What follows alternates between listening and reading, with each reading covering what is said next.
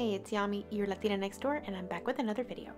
In this video, I'm transforming this lamp that I bought at Goodwill for only $3.93. It was a beautiful shape and it worked very well, and I was going to give it this coastal farmhouse vibe with a little bit of paint and a new lampshade. So here I show you how I achieved that look. I started by cleaning off the lamp and making sure it was clean, and then applying this chalk paint that I got from my local Hobby Lobby. I used an inexpensive brush and just made sure that I coated everything thoroughly.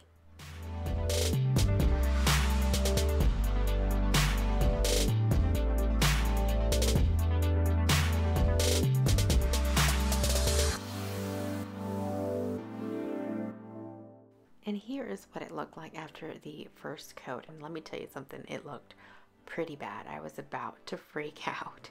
But then I added another coat and it started looking a little bit better only the paint started um, accumulating quite a bit as you can see here. This is the third coat. Now I knew I wanted a distressed look so I got a 180 grit sandpaper and started um, sanding away getting rid of all those brush strokes and having some of the old color peep through now I did take a little bit of elbow grease because a lot of areas were kind of built up and I needed to smooth them out, but it ended up starting looking really nice. Now there were some areas that I took too much paint off, but I just went over with a little bit more paint, resanded, and it looked much better. Then I took Debi's Design Diaries white wax and applied it with my favorite and inexpensive wax brush. I'll make sure to link to them below.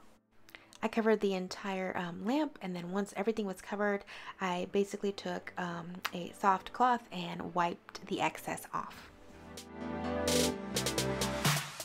Then I let the wax cure for 24 hours overnight and then added a really pretty lampshade that I got from my local at-home store. And then my oldest, who's always ready for her close-up, helped me add some accessories to the little table where I decided to place my newly finished lamp. I did add some clear adhesive dots to the bottom so it wouldn't scratch my surfaces. My total cost was $19, um, $14.99 for the shade, and $3.93 for the lamp. Everything else I already had on hand.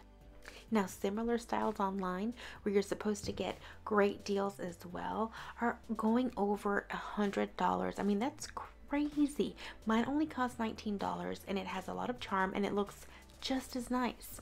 If you like this video, please make sure to give it a thumbs up and subscribe to my channel if you want to see more videos and transformations like this. Until next time, adios.